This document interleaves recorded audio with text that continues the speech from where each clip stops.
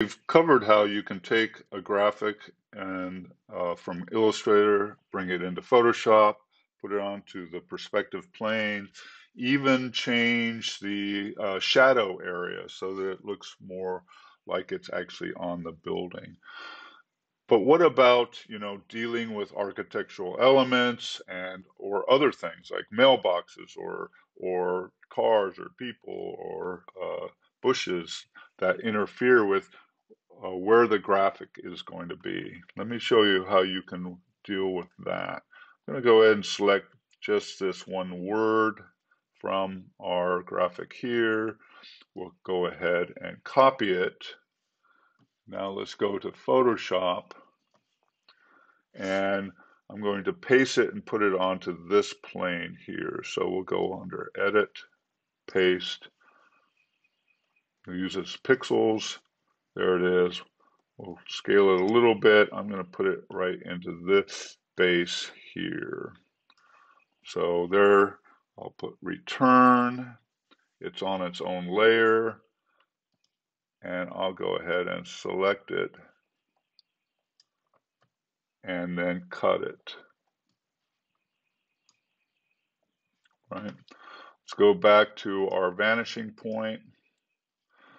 Um, we can go ahead and extend this if we wanted to because we can do the same thing that we did before with the uh, we have to have the uh, perspective plane tool selected but we can go ahead and extend that. But I'm not going to do that. I'm just going to create my own uh, additional plane here for this because I'm going to use this entire wall here uh,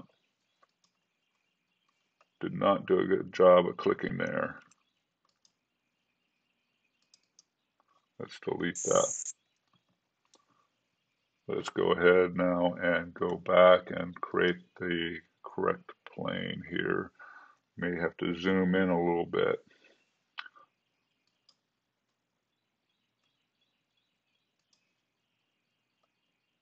And this is another one of those ones where I may not be able to see that corner. I may have to do a little bit of adjustment to get that to work. It looks like I've got it pretty well. So here's our plane. Let's go ahead and bring in our graphic. So Command V, and we'll bring it onto the base here. And Let's scale it using the transform tool. Scale it down.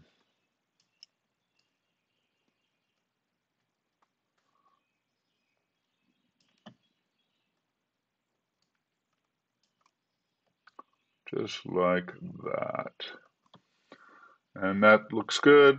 Hit return, and there it is. Problem is, and maybe I still want to move it a little bit on that, but we can do that. Um, the problem is that look at where the S and this architectural element end up, right? Um, I want to actually have that part of the S appear to go behind the architectural element there. So I'm going to zoom in on that area here. And the thing we need to do is we can remain on this layer, but we're going to hide it so that we can see what we're doing down here. And I'm going to go ahead and select the stuff that I'm trying to eliminate from the uh, graphic. So I did a really quick select on that, but it's done a pretty good job. I think it'll be okay. I can probably go in and refine it some more, but it will serve our purposes because I can see that it actually will deal with that part. Now, while I'm on that layer and I've got that selection, I can simply go and hit delete. And you'll notice that now that architectural element is been cut out of that. And it looks like the S is going behind it, right? So, you know, that's how you can deal with things like mailboxes or light posts and things like that. and perhaps we want to go to that layer. We might reduce the opacity slightly so that perhaps some of the uh, stuff in the background starts to show up. We may deal with uh, different blending modes, right, to see if we can get that uh, different things showing up through there um. So there are different ways that we can get it to look even more like it's on the building uh, there. Right.